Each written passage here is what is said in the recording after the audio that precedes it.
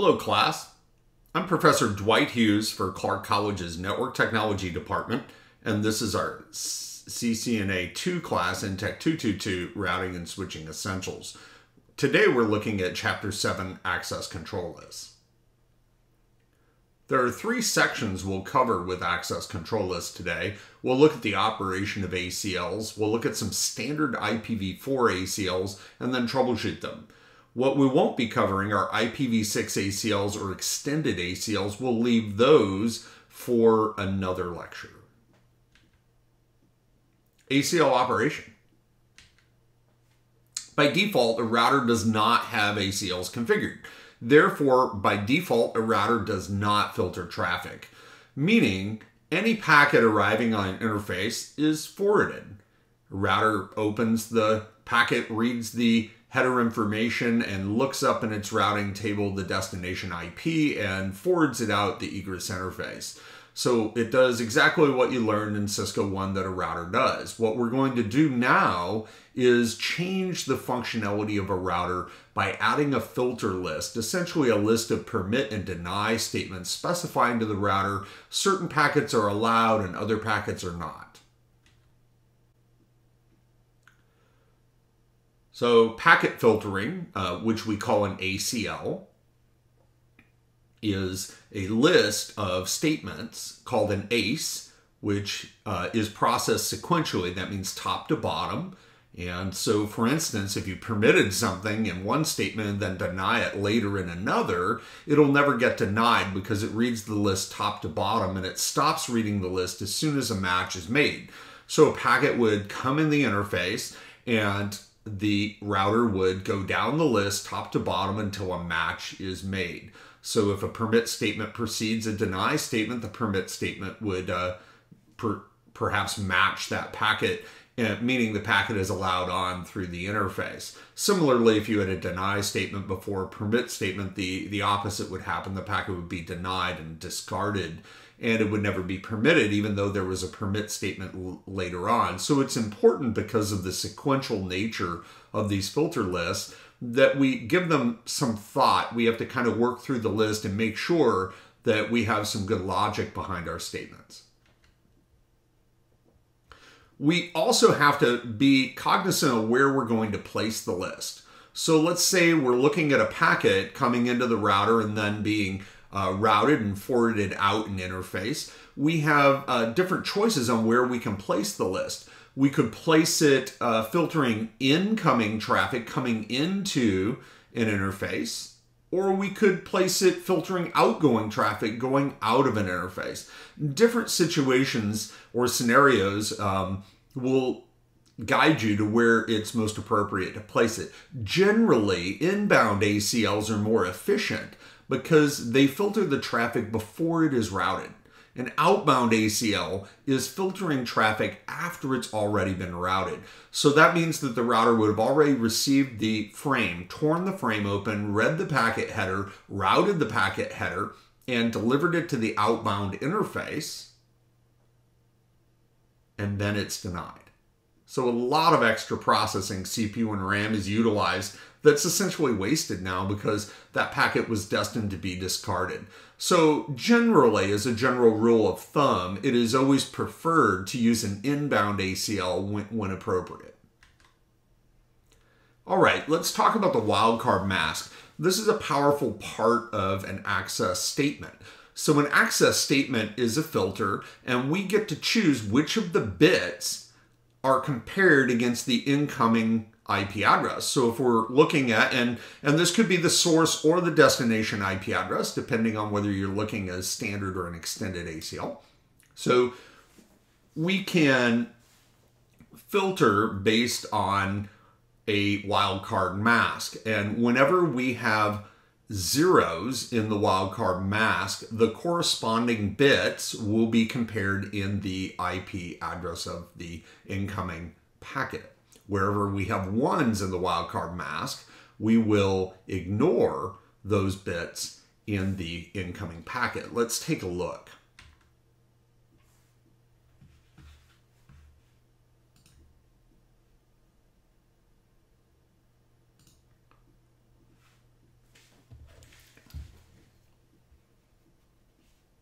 So what we have here is an IP address coming in. That address is going to be compared with this wildcard mask, and you can see we have all zeros in the first 16 bits. That means we're going to look at every one of the first 16 bits of this incoming address. We're going to ignore the remaining 16 bits because we have all ones there. You can see that written out here. This says ignore these. They don't matter. They don't have to match. So what this means is the wildcard mask has said anything with a 192168 matches. It doesn't matter what you have in the last 16 bits. It's saying, unlike what's shown here, it's not saying they have to be zeros. They can be zeros or ones. It's irrelevant it's going to ignore whatever's there. That means that 192.168.10.1, 192.168.255.254, anything that has the first 16 bits 192.168 will match the statement. So that's the power of a wildcard mask. You could put all zeros there. If you had 32 zeros in the wildcard mask, it would have to exactly be 192.168.10.0 then. It would say only that single IP address is going to match the statement. But as written here, anything again that begins with 192.168 will match. So the wildcard mask is a powerful tool in deciding how broad you want your filters. So we can use the mask to filter entire networks and subnetworks. So we can look at either an individual IP address, just one, or we can look at a group of them controlled with the mask statement. So here's some examples. In example one, you can see what I talked about. If we want to match every single bit, we put all zeros in the wildcard, and that says that we are looking for exactly 192.168.1.1. So any incoming IP address must be that to match that statement. In example two, we're putting all ones in the wildcard, which means anything matches. Every single IP address, any one you want to make up, will match example two. I know you said, but but the, the address is 192.168.1.1. This is where it can be a little challenging for students, is we're then telling it with the wildcard mask to ignore all of these bits. So we're saying none of the bits have to match. So you can have ones or zeros in any of the bits. So the result is anything matches that. So that's an any. And we have we actually have some keywords that we can you know that we can put in here um, instead of instead of this that we'll, we'll learn. All right, in the third example, we can see that we are matching a subnet. So we're looking for the network or subnetwork 192.168.1. So the last octet, the fourth octet over there, could be a 1 or a 2 or a 250 or a 255. It doesn't matter. Anything will match. It's going to um, ignore the last octet. So that's essentially the wildcard mask. This is just explaining that range that I pointed out to you. So we create with the mask a range of addresses. This is an odd one, an example two here. This is something uh, fun, yet perhaps impractical. So this is matching all odd numbered subnets, right? Because it's um, it is looking at that uh, 24th uh, bit there. The 24th bit is um, is being matched, and so it has to be a one, which means that anything with a zero in that bit position, so that's every other subnet, uh, will match this. So you can have some fun with this. Calculating wildcard mask can be challenging. So one shortcut is to um, simply invert the subnet mask. So if you have a subnet mask, take the opposite of it. If your subnet mask was 255.255.255.0, then all you would need to do is put 0.0.0.255, as you see in example 1. They're showing a mathematical way, but I'm telling you just take the subnet mask and invert it.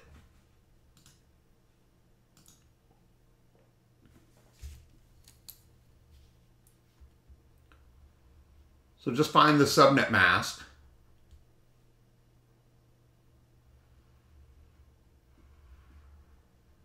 Which they're showing here in this second line. Those are all subnet masks. And notice the result on the bottom, that's your wildcard mask. That's what you're trying to make. So you just invert it. The hard ones are, are ones like this where you have, say, a 252 inverted then, if you replace all the ones with zeros and all the zeros with ones, um, this is what they're basically saying is that 252 plus 3 equals 255. Again, I wouldn't do this with subtraction the way they're showing here. You can do it with addition. So you can say, okay, what plus 252 equals 255? That would be 3. And so that's what goes in your wildcard. So you could read this. What plus 255 equals 255? Nothing. So 0 what plus 255 equals 255, 0, what plus 255, and you can just go along and, and do that, and I think you'll find that uh, useful.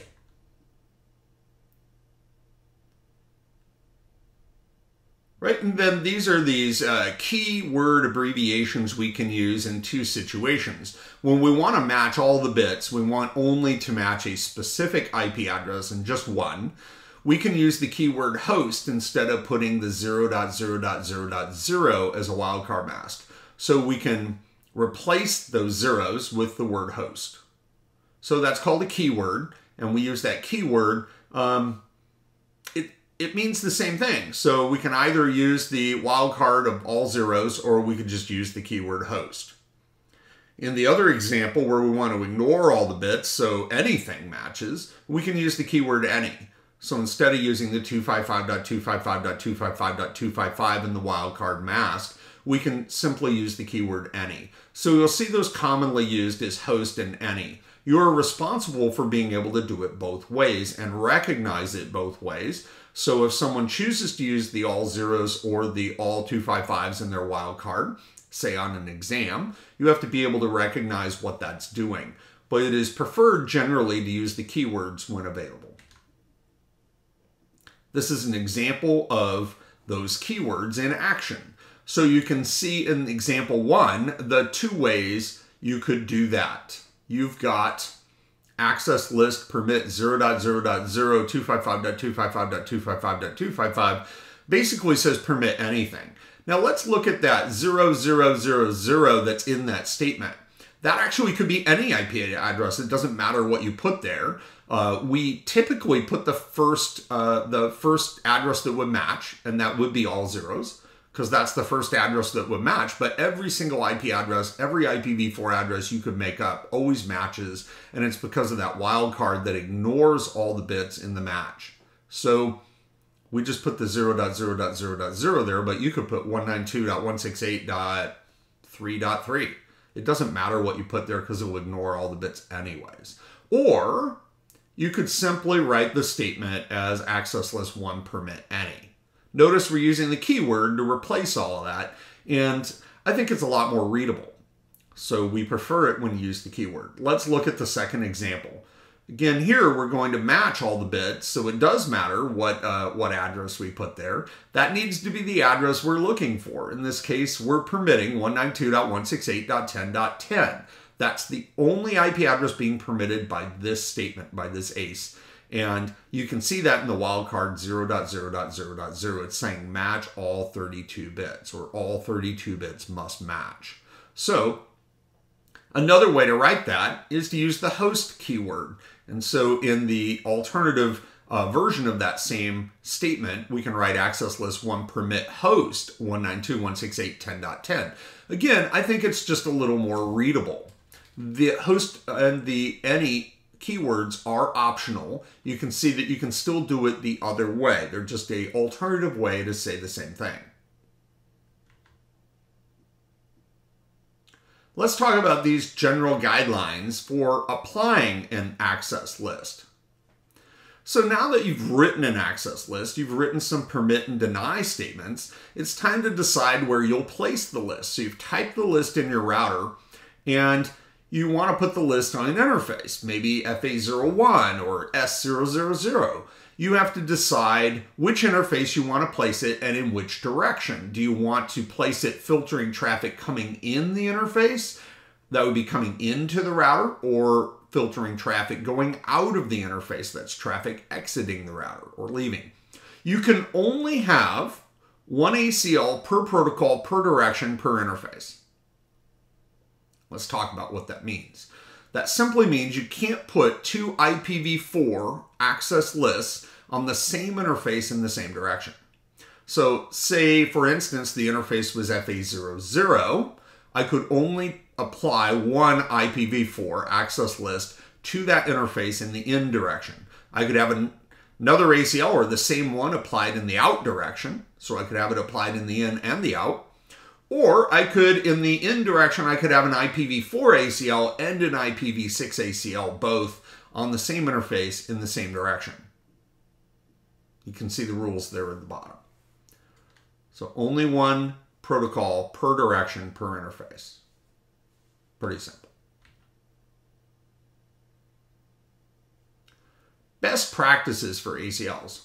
Well, the best practice number one is have a goal. You need to have some outcomes that you want to achieve. So you should be able to write those down. You have to be able to paraphrase what the goal of the access list is. What are you trying to stop? What are you trying to permit? What's the, you know, what's the goal here? What are we trying to limit? or what are we trying to filter? And that goal is probably based on a policy of your organization, right? So, for instance, if I had a, a VLAN that was uh, running web servers, and I had a couple web servers in this VLAN, and that's all I have in the VLAN is uh, two or three web servers, I might want to limit who can get to them. Maybe one web server is only for internal use, so I could write an access list that limits the IP ranges that are allowed to reach that web server. You should prepare a description of what you want your ACLs to do. Okay, that's just that paraphrasing, writing out those uh, those goals or objectives. What each uh, act, and an ACL, not the statement, not what each statement does, what the list does. And you may need more than one list, right? Because we may need to filter at different points on the network. The filtering um, to protect the web servers is probably going to go over by the web servers. And then I'll probably need a, a different filter list to protect my company from the internet, which uh, we typically call the firewall. So ACLs are firewalls, and uh, we can write those statements. Another best practice is to use the text editor. So you just open a text editor, um, you know, like Notepad in, in Windows or um, or any of the uh, ones Notepad++ or any of the text editors you may like using.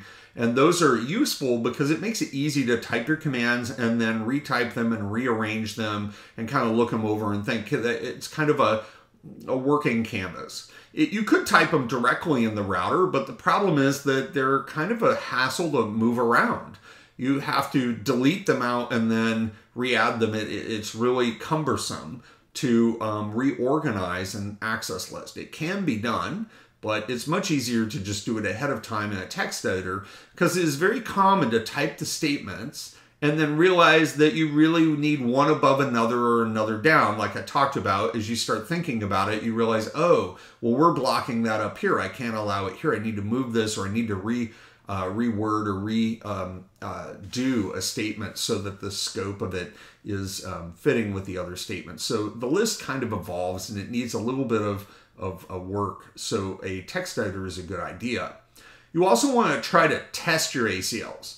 So what we generally do is apply it. It's helpful if you don't have to apply it on the production equipment you could mock it up. Maybe you have an extra router or two that you could stick the access list on and you could run some traffic against it and verify that it is performing the way you had thought. Often we'll find that uh, an access list that had a logic error and that it is not actually filtering the traffic the way you had intended it to. So it's always best to test those because it's very embarrassing and uh, they say here costly, but it's more the embarrassment of putting an access list on a production uh, router and having all the network traffic come to a stop or have uh, things permitted that shouldn't be permitted um, and so forth. So that's a that's a costly error. I, guess I just share one one quick one. A company that I consulted with um, applied it in the wrong direction.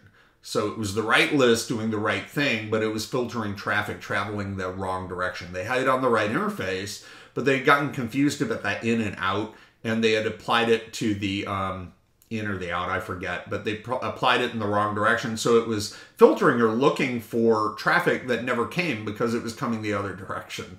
So it was applied backwards. So that could be, uh, you know, a costly and embarrassing error. It was eventually caught because people said, gee, this I thought this wasn't allowed to go through. We just saw this type of traffic on our network, and I thought you were blocking that. And they said, "Yeah, we are. We look, the list is right here, and it's applied." And so, with some testing and validation, we were able to prove that the list was not actually working. And then the question was, why isn't it working? And, and as you delve in, you find that. But much better to do that testing up front ahead of time than on the back end after you already have a live network problem. So that brings us to where to place your ACLs. Well, if you were writing an extended ACL, an extended ACL is able to look at the source and the destination, and we always want to place those as close to the source as possible. The reason is it's more efficient. Just like inbound ACLs are more efficient than outbound ACLs, if we can filter the traffic early, if it's denied, we can save having that traffic routed through three routers and be denied all the way over at the destination. Why have that packet drive across our network just to be discarded at the end? We'd rather discard that traffic early, saving the bandwidth and CPU and RAM of our devices.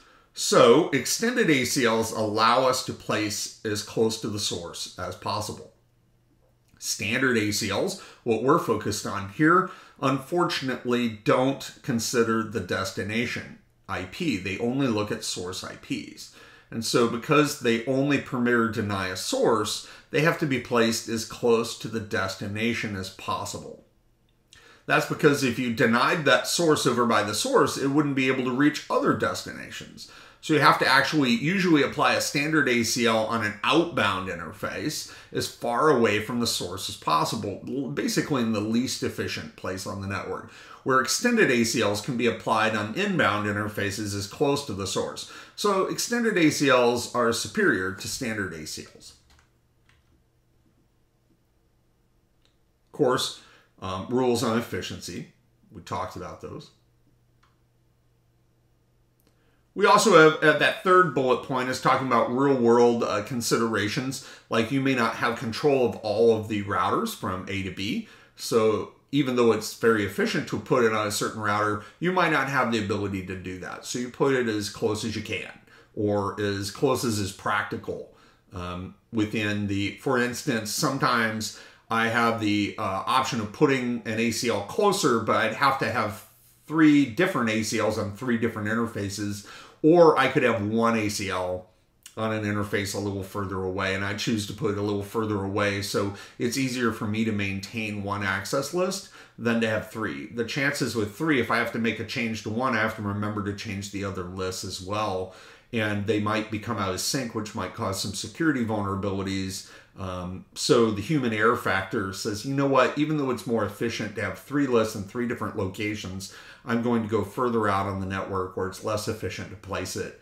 And that sometimes is what we call the edge router or the router connected to the internet. That's a classic place where I'll put an access list is traffic leaving the organization. So kind of um, kind of that last point of control right before the traffic is headed out the door to the internet, I may want to filter that traffic to block certain types of traffic.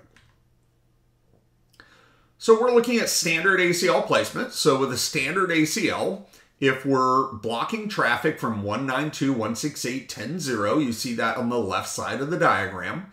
That's PC1 essentially. And we're blocking that from reaching 192.168.30.0, which is over um, PC3 essentially, okay? And notice if we were to uh, block that with a standard ACL, all we can do is say um, to deny 192.168.10.0. We can't specify um, the destination. So the command is simply to block or deny 192.168.10.0. So if we put that over at site A, well, PC1 wouldn't be able to get to PC2 or to PC4. So if we put it at router 2, it's same problem. Even at router 3, we have to put it all the way down on the egress of G00 because that's the only place where it still allows PC1 to reach PC4.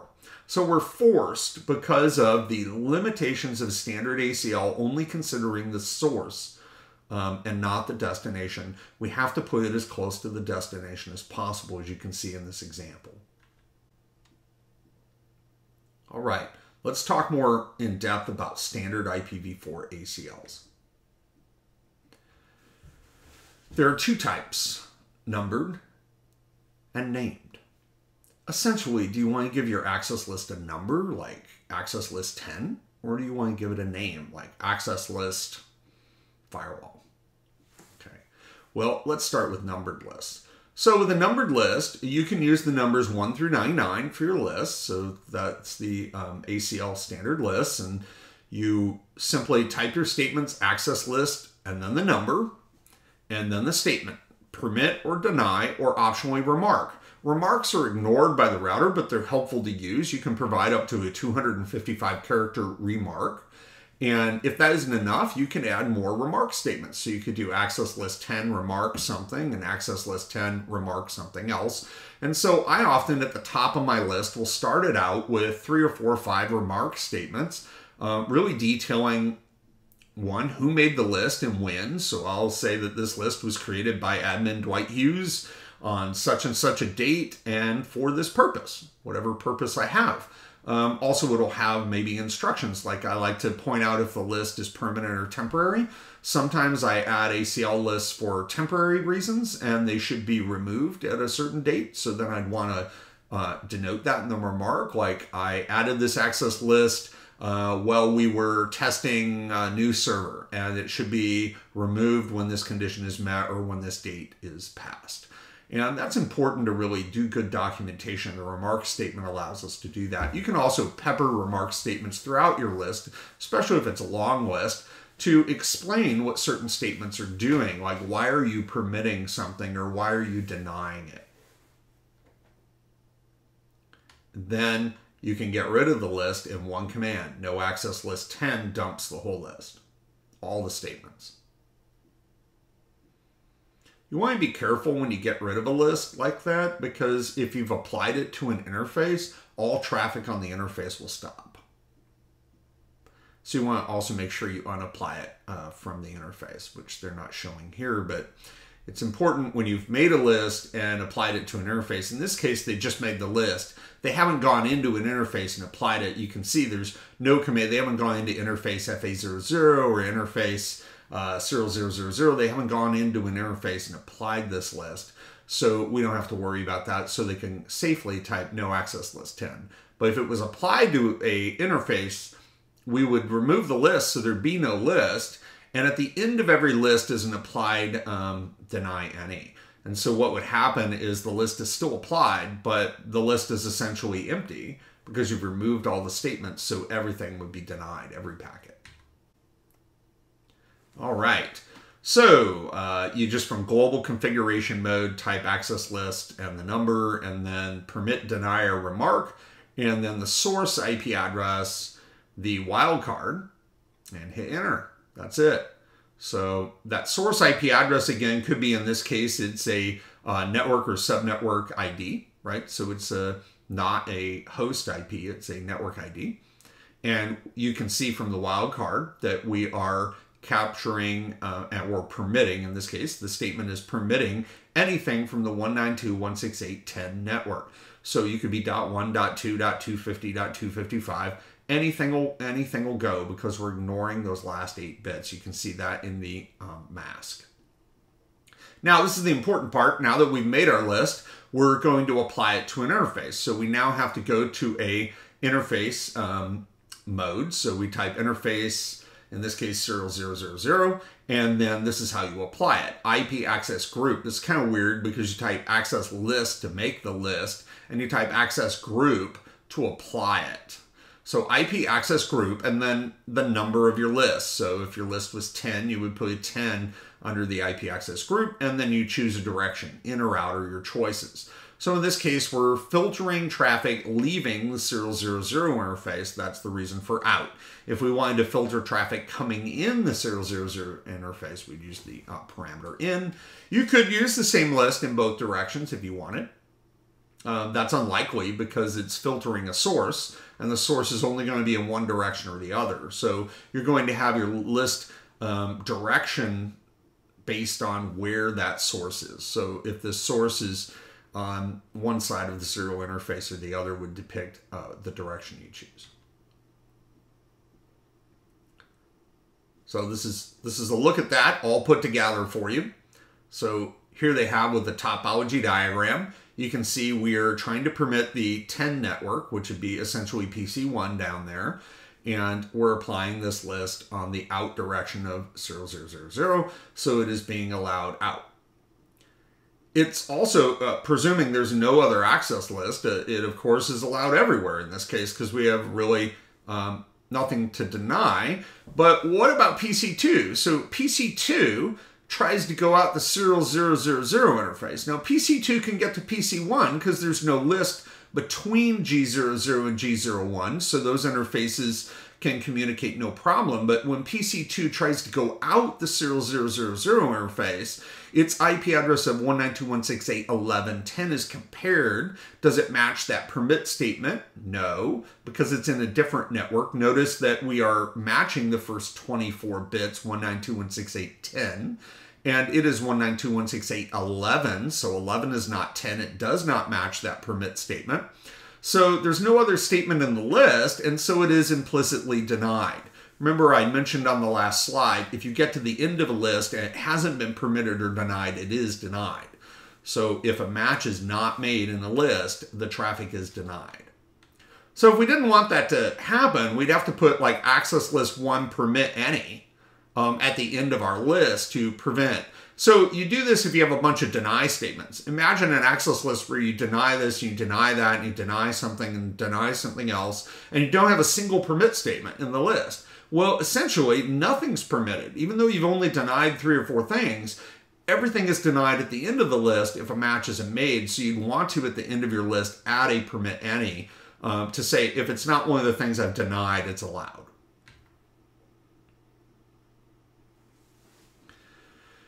Here's a look at denying a particular host within a network and then allowing the network. So this is kind of a similar kind of kind of thing.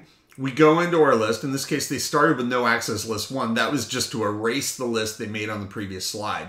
That's really not necessary if you don't have an access list one. So they removed access list one uh, because if they didn't do that, then these statements would actually get added, appended to the end of access list one and we didn't want that. So they're starting out with deny host. They're denying PC1, but they're allowing everything else in PC1 subnet. So everything else in the 192.168.10 subnet is allowed, but PC1's not.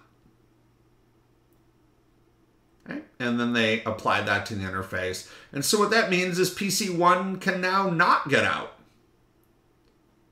How about PC2? No, PC2 can't get out either because PC2 doesn't match either of those statements. See that? Just like on the last slide, PC2 is in a separate network, 192.168.11.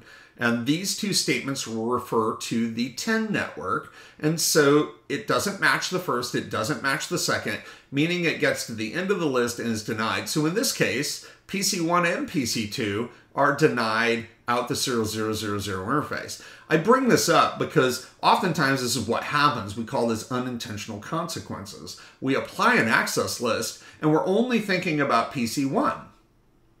And because we're only thinking about PC1, we forget about PC2 because we're, we're not writing statements concerning PC2. So we don't understand that our list is going to impact other devices on the network that we're not thinking about. So we really have to think about the network as a whole and really look at the topology, this requires an understanding of where you're going to place the list. So we have to now think about all the traffic that will be passing through that list, not just the traffic we're trying to deny or permit, but other traffic as well.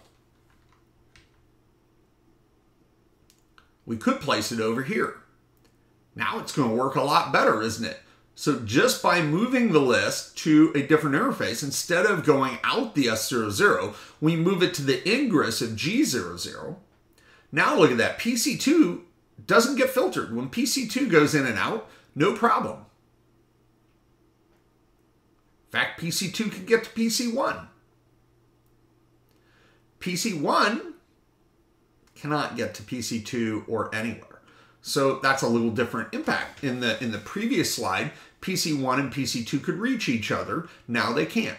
So now PC1 really can't go anywhere. PC1 is trapped in its subnet. It can talk to switch 1, but it can't leave the G00 interface. So that again may be an unintended consequence. If you were just trying to block PC1 from going out the serial interface, you've now blocked it from reaching PC2. And even though PC2 can reach PC1, say you could send a ping from PC2 to PC1, for instance, that would work because it's not going to get filtered in that direction, going out the G00 interface, but the reply back will get denied. So PC2 will never know it reached PC1 because PC1's not allowed to send traffic back. So if we block half of a transit, we pretty much blocked the whole thing. Let's move on to named ACLs. A named ACL does the same thing as a numbered ACL, but like the remark statement, it's nice to give your access list a name. These names cannot start with a number, and they cannot have spaces, so you have to use like dashes or underscores. And it's a rule of thumb, meaning not required, but it's a best practice to type your ACL names all in caps. So try to type them all in, in capital letters. And let's take a look at it. So here we go with the same kind of idea. We type IP access list, and this time we have to tell it it's a standard list. Notice we didn't have to do that with numbered ACLs because the numbers 1 through 99 are reserved for standard ACLs. So we just type IP access list one. In this case, we type IP access list standard to differentiate that we want a standard list and not an extended list. So we say this is a standard ACL and then we give it a name, in this case, no access. And notice they're not using a space, so they're using an underscore. They're using all caps, which is not required, but it helps the list really kind of jump out when you're doing a show run. When you're looking at your config, it's it's easy to see that all caps because everything in Cisco IOS is in lowercase. It really helps those lists stand out is the reason we do that. Then they are denying a host, in this case PC2, and then permitting everything else. And I had talked about this earlier. If you didn't do that, if you had a list just with deny host, the end of the list denies everything. So essentially the list denies everything, which is not what we wanted. So we're adding the permit any to allow everything else, and then we're applying that um, to the G00 interface. Now, there's, you know, a little little bit of a um, you know understanding of what this list does. This list permits PC2 in this case from getting to PC1 because of the way the list is positioned. Again, PC1 could get to PC2, but would never know it because PC2 can't send a reply back because traffic going out, the G00, is being blocked if it's coming from PC2. PC2 can get out the serial interface just fine though. So if we had the internet or something else out the serial 000 interface, PC2 can go in and out that interface. And of course, PC1 can go anywhere it wants. So in this case, we basically block traffic from PC2 to the um, 192.168.10 subnet, so it can't get to switch 1 or PC1. If we just change the placement, as you saw in the previous example, you can use the same list and just flip the placement around and do something different with it. So if you put this on the out of the S000, it would stop um, PC2 from getting out to the internet, but then PC1 and 2 could talk. Or if you put it on the in of the G01, so if you put it on the ingress of G01, PC2 wouldn't be able to get anywhere PC2 wouldn't be able to get to PC1 or out the S000. And so you can have three different effects of your list, the same list, can do different things depending on where the list is placed. So placement of the list is just as important as the list itself. And you really have to know where you're placing the list when you're writing a list. You have to do those two things hand in hand. So don't write a list and place it. That's how we operationally do it in the commands. You can see that here. But we really have to have in mind uh, where the list will be placed at the time we write the list. So we, we need to kind of keep that in mind. And you can use a text editor, and this is the example of using a text editor and then cutting and pasting the statements in. And so here the statements have been typed out in the text editor, and then they've cut and pasted them into the router. It works fine.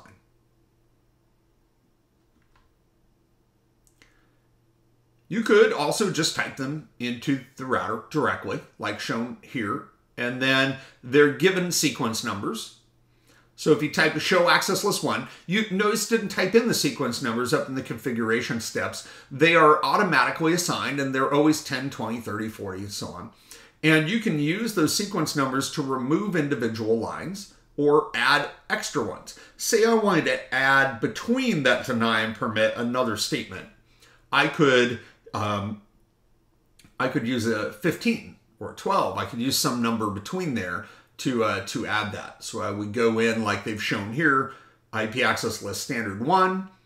So they go into the um, into the list, and you could, in this case, they're typing no 10, which deletes out line 10. Instead of deleting the whole list and having to put the whole list back in, I can just delete line 10, and then I can start my new statement with a 10, which replaces it. Or if I wanted to leave 10 and 20 and insert one between, I, I could just type 15, you know, and whatever I wanted to type.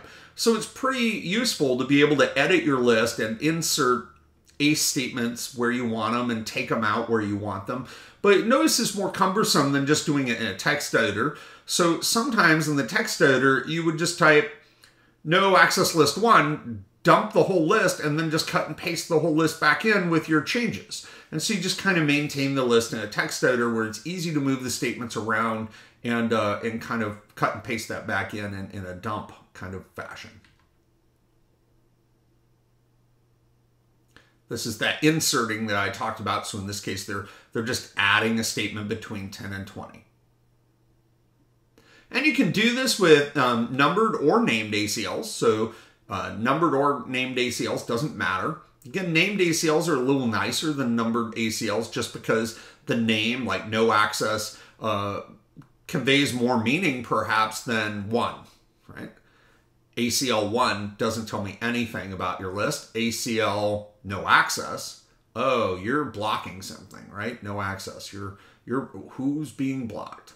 So you get more meaning out of your um, list. I think there's a limit on the length of an access. Well, there is a limit. I think the limit is 32 characters. So you are limited in how long these access list names can be, but you can convey a fair amount of meaning. Remember, the remark statement, whether you're using a standard or um, standard named or a standard numbered list, you should use remark statements to add even more detail.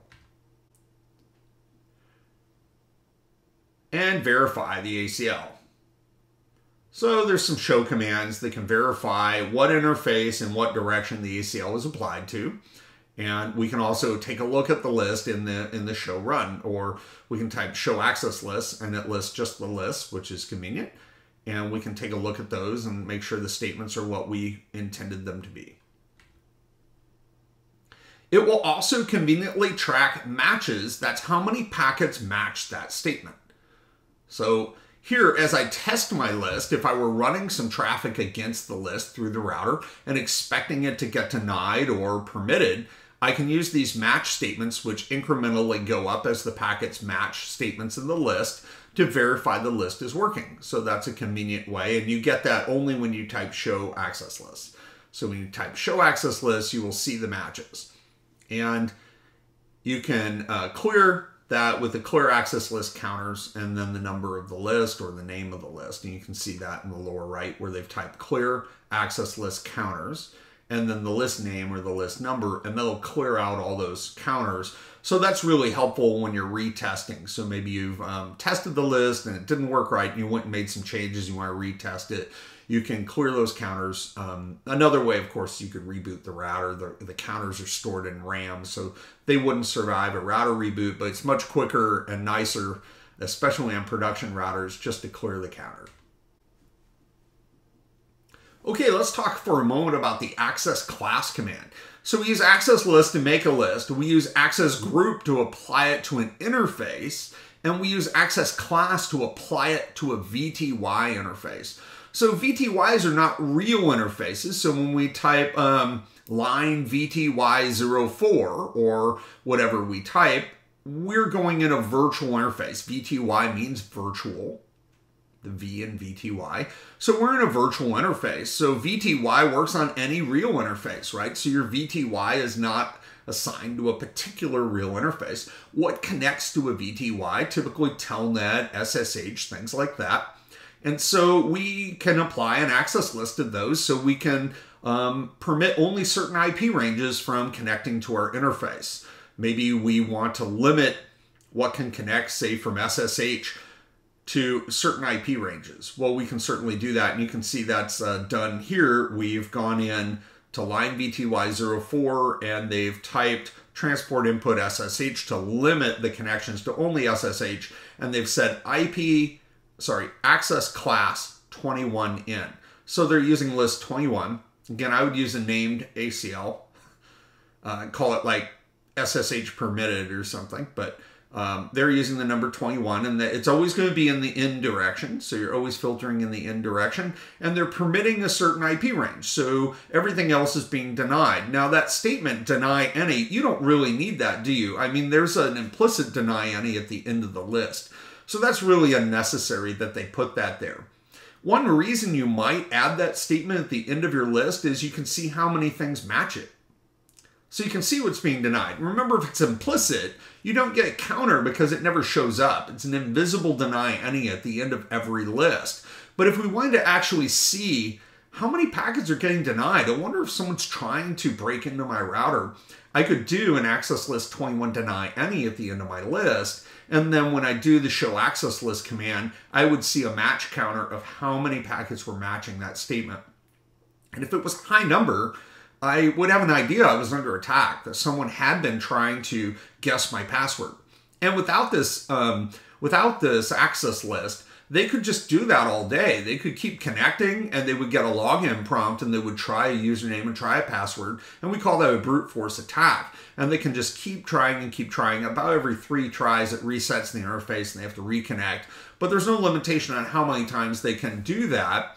Also, they could do that as a denial of service attack, I suppose, and they could really try to uh, tie up my VTYs. And I can block all that with an access list. So now with the access list, if they're not coming from the 192.168.10 network as their source IP, they don't even get a login prompt. They get denied. So it's very useful. And of course, if you try, in this case, we're trying from a network that is denied. Notice there's a match. So we would get a match statement or deny any. And we would also, as the connection, get refused. It would show SSH connection refused. Notice no login prompt. If we try from a device that's on a permitted network, PC1 in this case, we get the login prompt. Let's talk about troubleshooting access lists. I already mentioned you have to have at least one permit statement in an access list or all traffic is denied, right? Because there's an implicit deny any. So you can't have an access list with only deny statements. You must have at least one permit statement or nothing's permitted.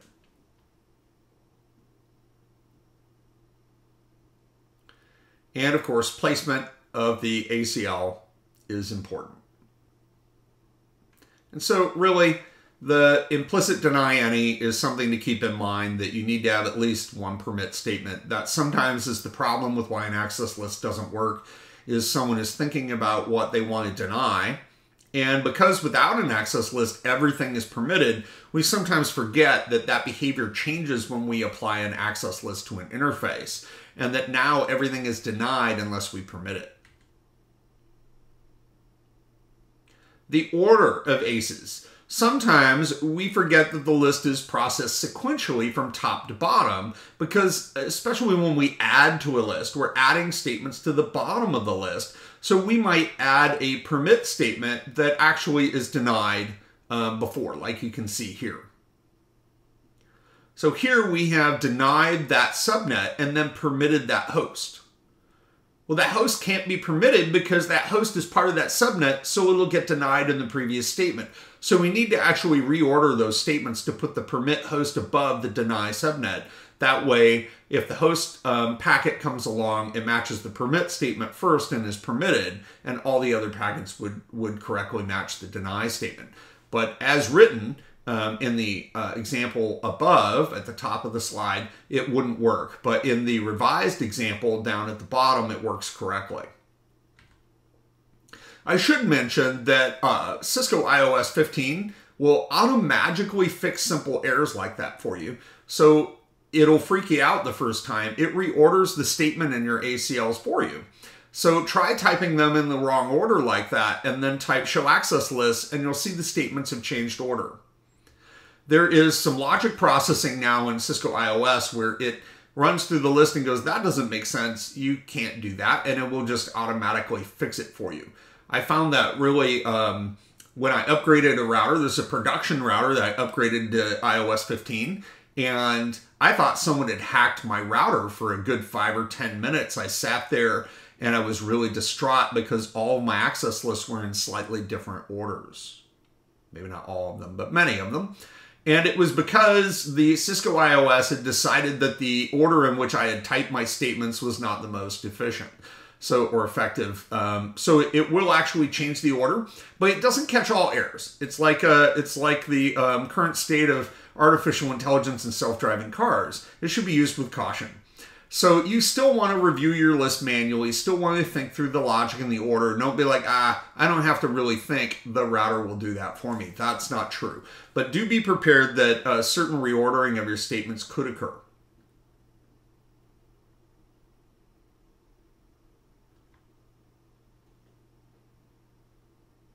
And this is just talking about that, how it will reorder statements sometimes um, in the order it feels is the is the most effective.